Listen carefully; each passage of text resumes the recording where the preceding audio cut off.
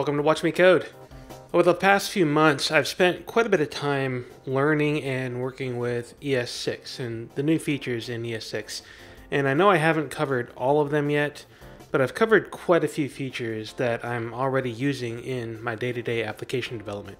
And specifically, I'm using these features within my browser based applications, which, as most of you would guess, I'm still writing Backbone.js applications.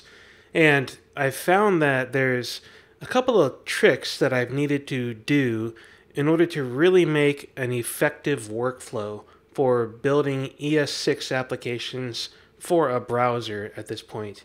It's not a completely seamless thing yet because, frankly, most browsers don't support most of the ES6 features that we want to use. So, there's a few things that we need to do and you've seen some of these things already throughout the Watch Me Code episodes that are covering ES6 topics. So I want to take some time now and really dig into getting your process set up for an application so that you can have a good workflow to build ES6 based applications for your browser.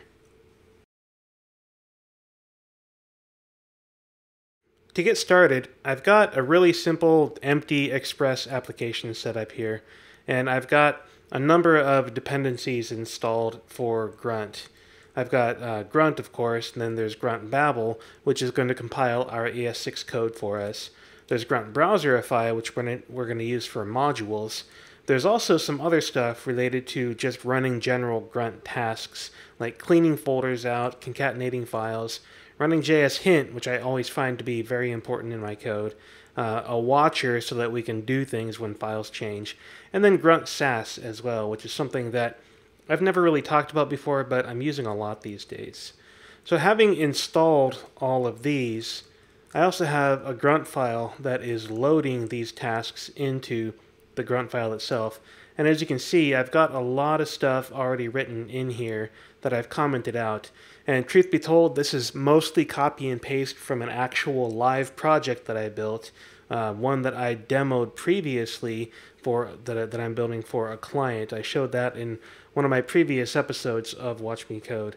And I'm doing this, I'm doing things this way so that I don't spend too much time trying to just write all of these arcane object literals for Grunt to work appropriately. I just want to get things done by commenting things out but I want to kind of show you the flow of getting to the point where you actually need all of these different pieces. In addition to that, I've got a pretty extensive file layout already. If you've watched my previous episodes of Watch Me Code that cover Express.js, you should recognize this basic layout of the file system, where I have a lib folder that will contain parts of the Node.js application that I'm going to run, um, in this case, I don't really have anything in there. I did this for illustrative purposes. Um, node modules, of course, you know what that is. Then there's the www folder, which contains the actual web application. And I've got my package.json sitting outside of the web folder, and then the web application itself sitting inside the web folder, of course. There's the bin folder with www to execute the actual Express application and start it up the app.js file, etc. Within this, I also have an app folder, and within this app folder, I have an assets folder with all of the different assets that I'm going to be using inside of my application. Now, you may be wondering why I have all these assets over here. What's going on with this? Why would I have an app folder in here and have assets here? And this is because with the way I build applications these days, I don't necessarily want all of Backbone and Bootstrap and Font Awesome and everything else in my application. I'm going to have an application folder from which I build things. I'm, going to take files out of this app assets and build them into a single file that can be appropriately delivered to the client side application and run from there. There's going to be more folders inside of this app folder here in a few minutes, but for now, I've got some of my static assets like Backbone and Bootstrap and a few other things like that. So I want to start there with my grunt file. Now, I know a lot of people get kind of purist about having all of your application infrastructure and vendor related files required into your application through whatever module format you're using. If you're using CommonJS, using the require statement. If you're using ES6 modules, using the import statement. And I can understand that. You know, it's you, you want to keep code clean, but I'm more of a, I guess, practical uh, person in this particular case where I know globals are bad. We don't want to pollute the global namespace with a whole lot of stuff, and we should, you know, import files whenever we need them and all that. But there's there's a part of me that's like, you know what? We spent years building applications with nothing but globals. They're not always a bad thing. Sometimes it's okay to use them. And so I tend to do this with my infrastructure stuff things like underscore JS and Backbone JS and jQuery and Marionette and Bootstrap and know, all these things that I use on a regular basis that I just don't want to have to import them into every single source file that I'm using. So I take the approach of concatenating these files together into a single infrastructure.js file. And I'll have that infrastructure.js you know, load once in the browser so that the browser can cache it and reload it as needed. And then I'll have a separate application file where I write all of my real code for my application and I use modules and imports and all of those good techniques that we're supposed to, but still allowing the use of Backbone or jQuery or Marionette as a global variable within those modules because frankly, I don't really see a problem doing that. So the first thing I'm going to uncomment inside of my grunt file is this concat task. And this concat task is going to be responsible for building the infrastructure.js that I just talked about. And it's going to produce a file in the in the web folder public assets infrastructure. So if I go back over to my file browser here, we can see that I've got my web folder public and I don't have assets in here. This is, these are kind of the defaults that come with Express.js, and I'm going to delete those. So I'm going to create um, my assets. Well, you know what? I don't even want an. No, I do want an assets folder in here. I was going to say I don't need an assets folder, but I do want an assets folder. Otherwise, everything in here would just be served off the root of the website, and that looks odd to me when I see that source. When I try to get things out of the web application, it makes routing a little bit funky. So if I do a public slash assets here, then I'll be able to build an infrastructure.js. And since I've uncommented this concat here and told it which files I want to concatenate into this destination, I can run this grunt file now. I do have this loaded up into grunt already. I don't have my default set up yet, which I'll do later. But I can save this and I can run grunt concat. And looks like I have an error here. Cannot find module. Ah, I know what I did wrong. I have this left over from previous application. I'm just going to go ahead and change that real quick. So I've created this public assets infrastructure.js file now, and I can see that here this is going to contain everything JSON 2 and Backbone and jQuery and Marionette and all that. And at 377K, you know, it's a pretty big file. Maybe you want to run a minifier on that, get rid of all those comments and everything. I'm not really worried about that right now. Frankly, I don't even really worry about it that much in production.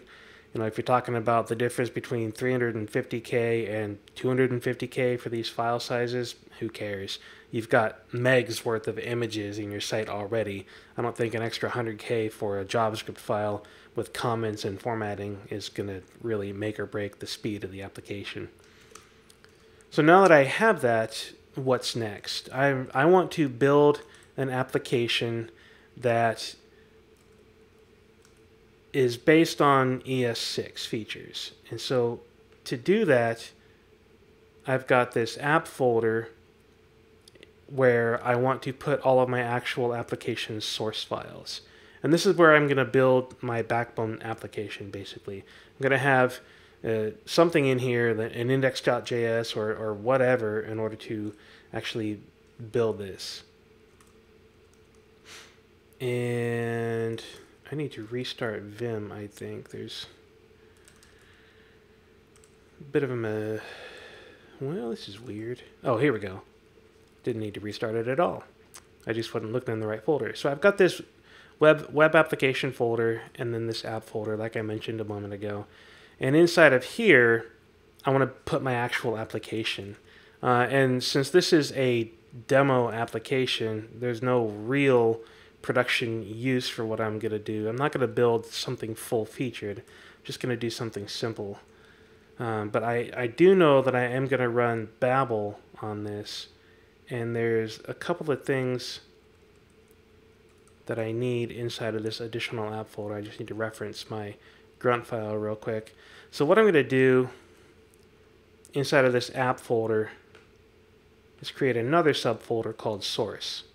And this is going to be where I write all of the actual ES6 based code. I'm going to come in here and I'm going to build my index.js and it's going to import other files for other purposes. And all of this is going to happen inside of this source folder. Once I have code written, I need a build folder to output all of the source compiled by Babel.js so that I can have a version of this code that is able to run in current browsers.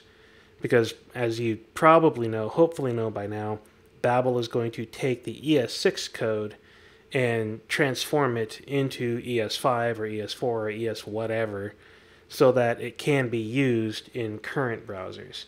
So now I have my source folder and I have an ES6 build folder inside of here.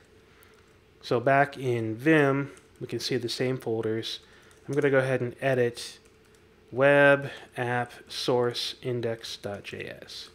And in here, like I said before, I don't really care about having globals or not. So I'm going to go ahead and uh, put in um, excuse me for a second, just refreshing that. I'm going to go ahead and put in a marionette application object. So I'm going to say var app equals new marionette.application. And I'm going to have an app.add regions. And I'll add one called main, which will point to the main content area on the screen. Instead of doing an exports right here, I'm going to take advantage of what Browserify can do for me. And I'm going to say global dot app equals app. I think it's global. It's either global or underscore global. But I think it's just global dot app equals app. And by doing this, I'll be able to reference the actual application object inside of a view where I can where I can get to this. So I have, for example, if I put block JavaScript inside of my Jade file here, I can have app.start. Or more realistically, I can put my jQuery function call for DOM load or DOM ready, and then inside of there, put app.start. I also need to have my main div down here. So now I have what is basically a very small Marionette application that actually doesn't really do anything yet. So it's not really that useful. But I want to go ahead and start getting things rolling. I know I have the stuff in the source file here. And I know I need to get it into this ES6 build using Babel. And then from there, I need to run Browserify in order to get modules concatenated and built together. And you know what, before we do that, I suppose let's go ahead and put in a simple view. Let's say import some view from dot slash some view. Just so we can have some ES6 code in here. And I'll go ahead and edit web app source some view.js.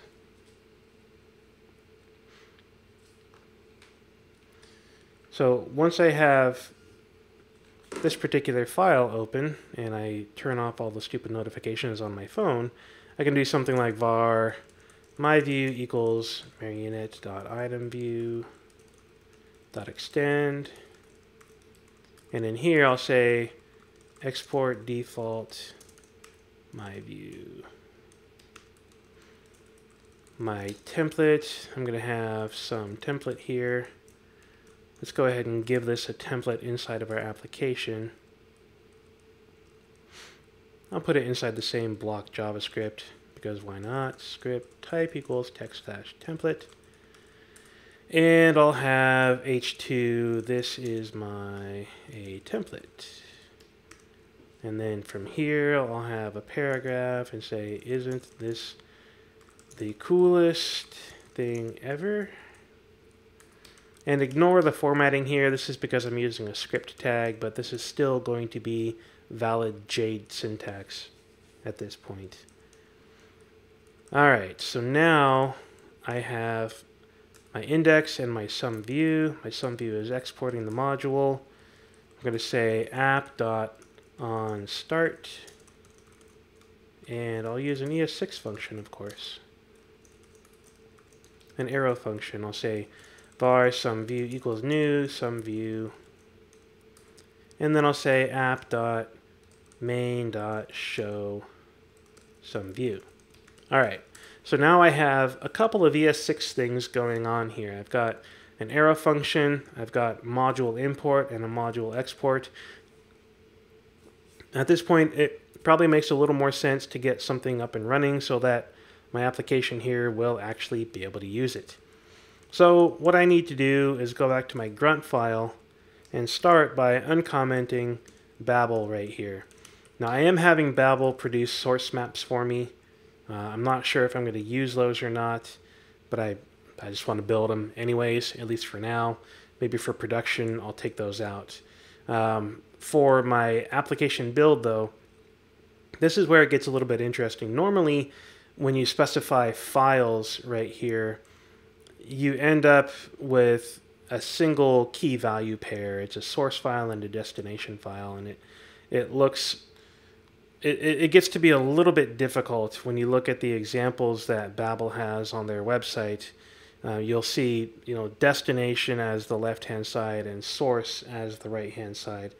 But Grunt itself allows you to do this expand version of single source and destination.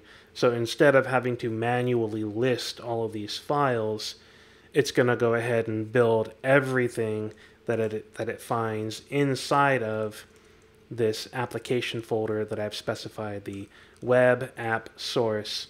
It's going to find all of the JavaScript files in there and it's going to produce them in the web app build. All right, so that's going to be my Babel setup. So now, if I run grunt Babel, let's see what happens. That looks like it built without errors. Let's see if it actually produced any output. And again, I'm looking for the web app build. Oops, I think that's the wrong folder. I think I wanted ES6 build. Yeah, okay. So it looks like it did work, but I got the wrong folder name in there. And that's important because later we're going to use that same folder name for a few other tasks. Alright, so I now have my ES6 build where we have the index.js file that was created, and we have the someview.js that was also created.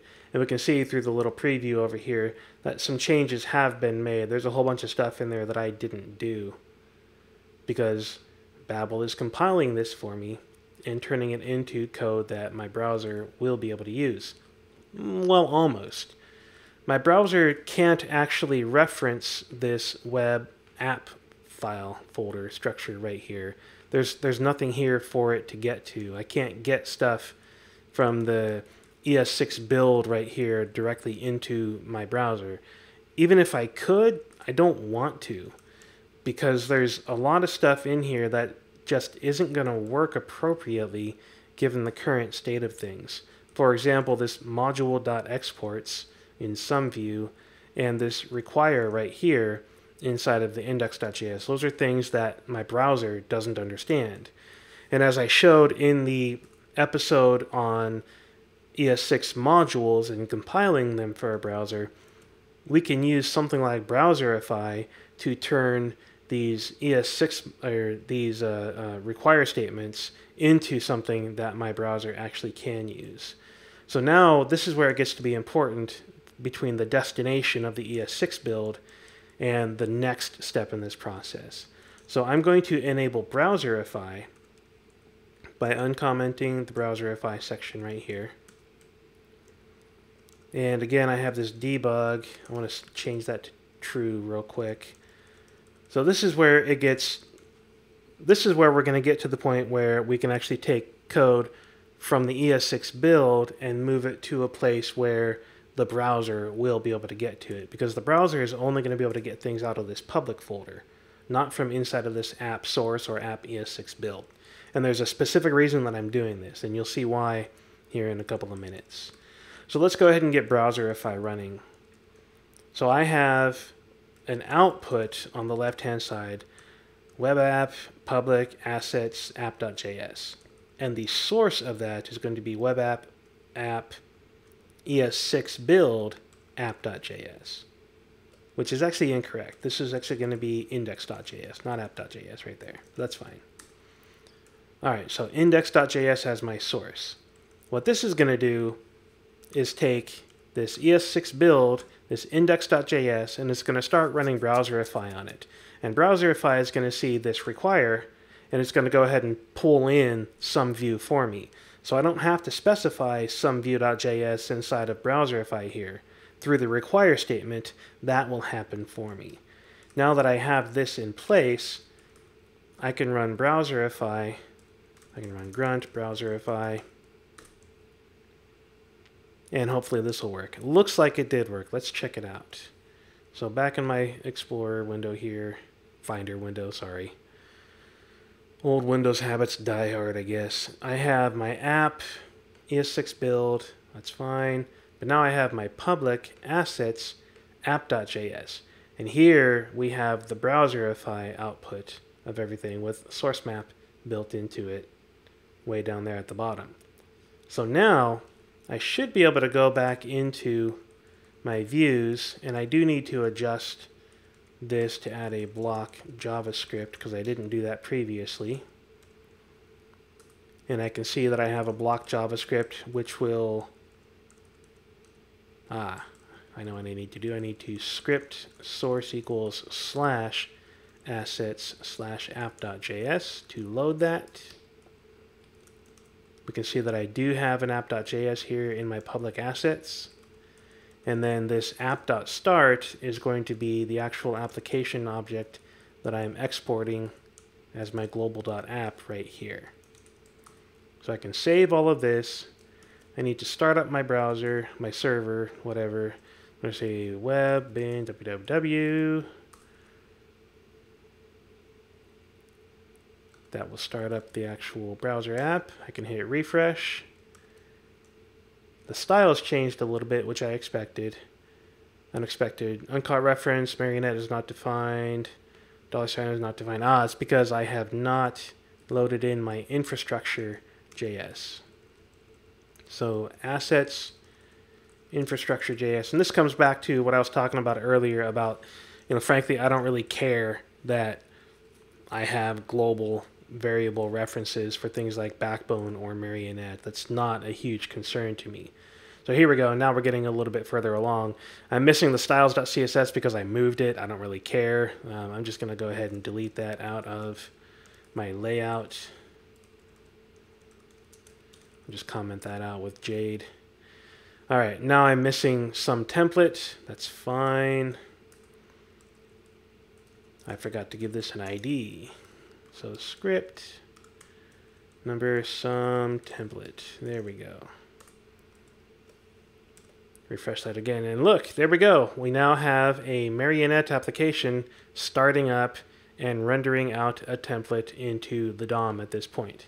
Now this is all well and good. I technically have ES6 code being built into ES5 code with Babel and then using Browserify to output this app.js file. But this is obnoxious. I don't want to have to rerun all of these manual steps, and I really don't have to. because we have Grunt available to do all of this heavy lifting for us. I'm going to come down here and start by uncommenting this default task, which is going to run concat in order to concatenate my infrastructure file, and then it's going to run watch. And watch is going to be where the real magic happens in this case. You can see that watch does a number of different things here. I'm going to start with, well, I don't really care about Sass, quite honestly. I'm going to start with my infrastructure and then my app, and then I'll get to this reloader in a few moments. So the infrastructure is what I previously had. I don't care about calling that specifically subtask. The infrastructure is what I previously showed for my infrastructure.js file. It, it's where Backbone and Marionette and everything is. All I'm really doing here is saying if I do change any of my infrastructure files, you know, go ahead and rebuild the infrastructure for me. This doesn't happen very often, so I don't really pay attention to this that much. I do want to make sure that I have the appropriate folder structure in there. So it's web, app, assets, and these are where my assets are. That's great. If I change any of the JS files, it's going to run concat for me. What I really care about is this app, watch, watching the app itself, watching my backbone marionette application code. And I don't have a clean task yet. I'm going to delete this. I don't have a JS hint task yet, but I do have Babel and Browserify. So I'm going to come over here and I'm going to see that I have this index.js and I have this output and I have the output going into this app.js.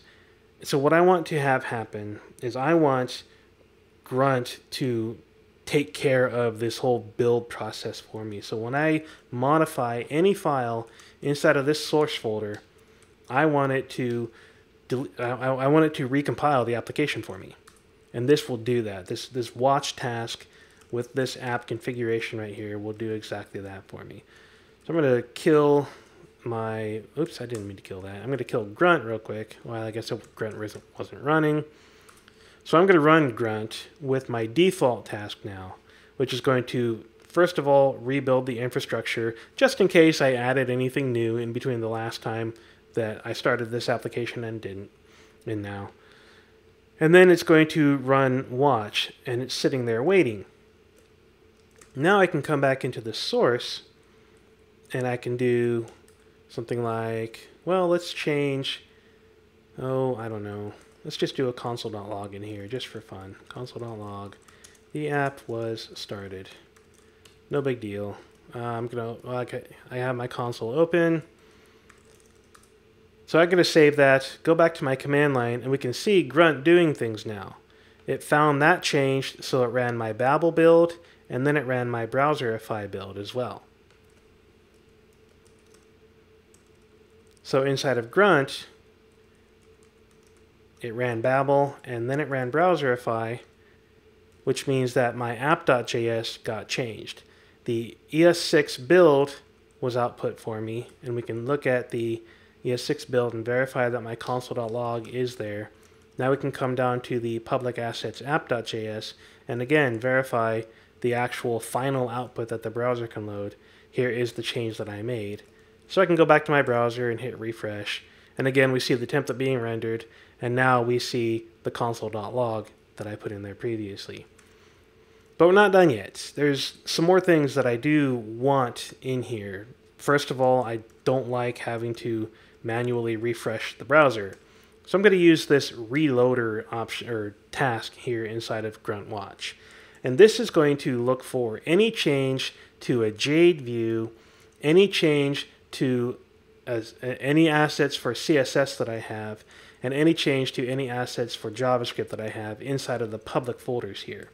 And it's important that I'm doing this inside of the web public assets because I don't want this reloader to run when I change the source. I have Babel and Browserify running when I change the source of the application over here. In this case, what I want is when the final output, when the final output of this application build changes, that is the public assets app.js or CSS or whatever, Whenever any of this changes, then use live reload to automatically reload my browser.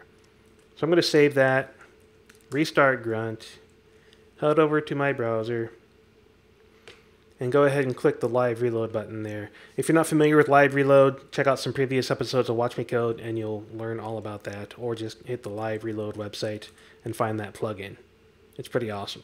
Okay, now I have my view, I have some template, I have this index. You know what, I don't need this console.log here anymore. So I'm going to go ahead and save this, and I'm going to go right back to my browser, and a moment later, the browser refreshed for me, and that console.log is gone. So now we're talking. We're looking at a pretty slick little ES6 build process at this point in time. But still, there's a couple of more things that we want to do.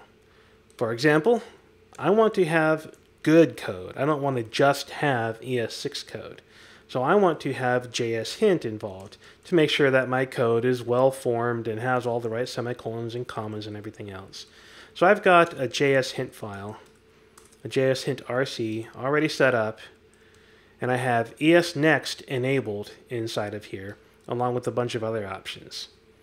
So in this grunt config file now, I'm using that JS hint RC, and I'm running JS hint against the application source, not the ES6 build, not the public assets build, but the actual source that comes from web app source right here. So I am going to run jshint over this code.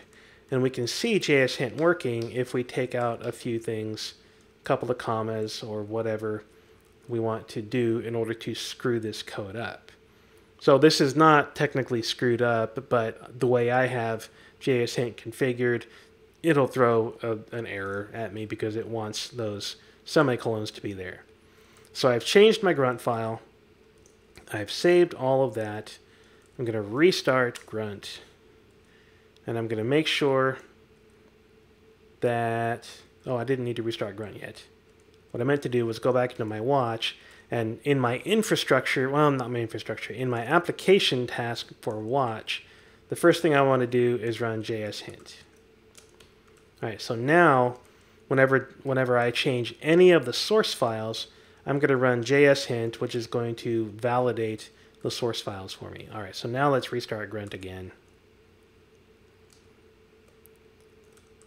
Now I'm going to go back into here, into this index file. I've already removed the semicolons here. I'm going to save this again, go back to the console, and we can see, hey, look, this is bad. There's missing semicolons here. That's great, because now we have ES6 in place, and we have JSLint in place, telling us whether or not we're using our code correctly. Problem is, if I refresh this, I still see that there's you know code here. I, there's it's it's running even though it failed the actual build and i don't like that in my in my builds if i accidentally break the build and i go over here to my browser and i refresh i, I won't know that i broke the build because i'm not looking at the command line output the grunt output to see that it's broken so i'm going to come back into grunt and I'm going to enable this clean task here. And the clean task is going to look at the um, uh, excuse me, the clean task is going to be responsible for cleaning out folders whenever I do a build. So before I do a, any given build, I'm just going to go ahead and wipe out a couple of particular, a, a few files so that if I do have a mistake when my browser refreshes, it's not going to work appropriately. So I'm going to start by cleaning out the public, the web public assets app.js file. And this is the actual final output of the, the build right here. So once again, I'm going to come down to the watch on the app, and this will be the first thing that I do is clean out the app file clean app. So now, when I restart Grunt,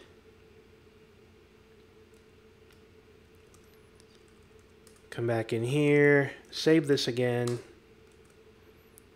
I see that I still have those errors.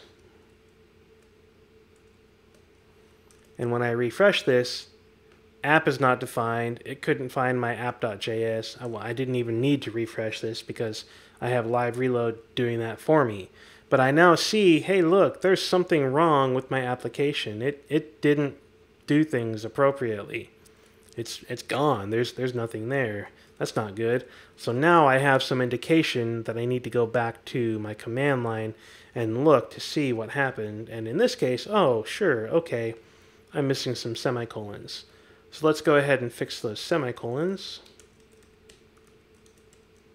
Save that, go back to my browser, and a moment later it refreshes for me because of live reload, and everything is good to go again.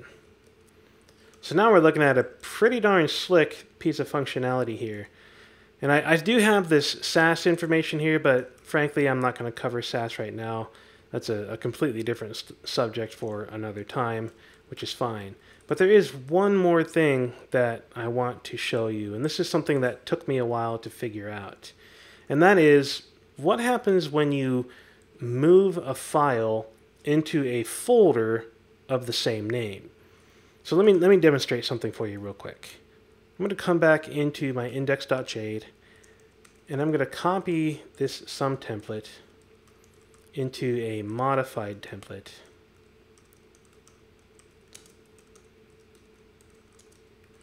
And I'm going to make a couple of changes right here.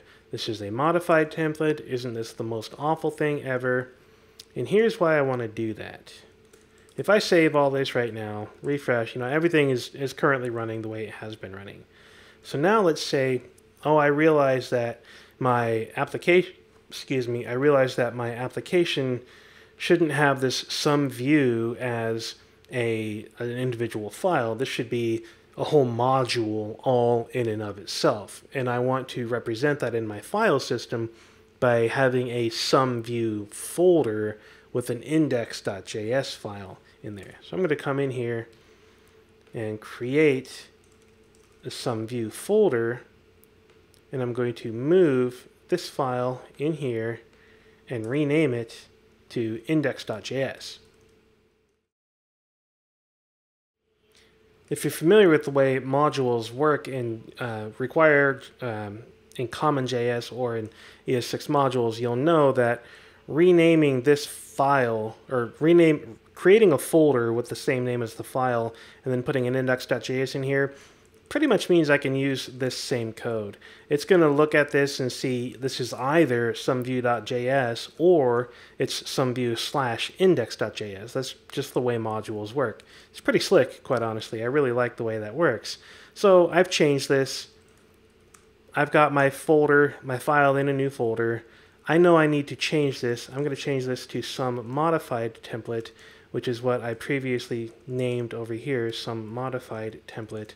I'm going to save all this, go back to my browser, and it refreshes for me appropriately. That's great, except uh, where's my changes?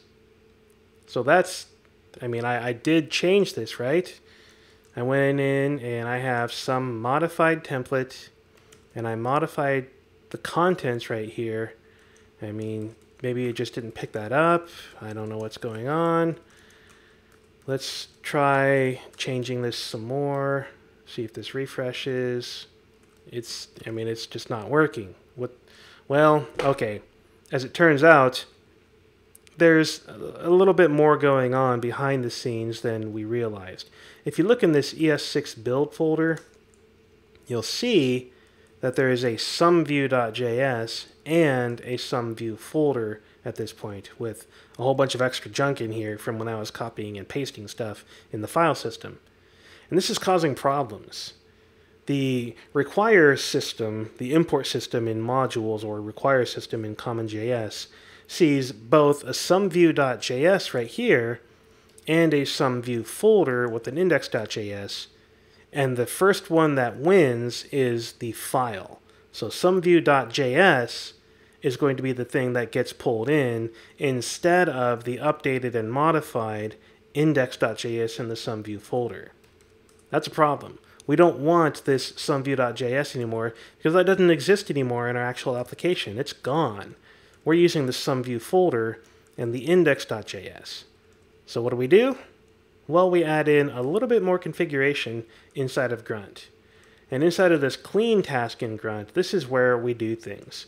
So we're going to have clean ES6 build. And the files that it's going to clean out is going to be the web. Uh, make sure I get the right folder structure here. Web, app, ES6 build. We're just going to clean out this entire folder structure at this point. So I save that. I need to come back down here.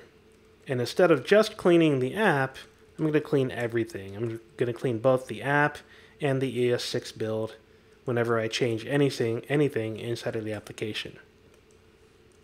So now I'll restart Grunt. I'll come back over to my source. I'll modify this again. Well, I don't really need to modify any of this, but I'll go ahead and just write this, go back to my browser, and there's all of the changes that I made. So what's happening now is we'll go back over to my folder structure here and hit refresh, and we can see that the ES6 build no longer has that someview.js file. No longer has the someview.js inside of this someview folder either from when I was doing copy and paste.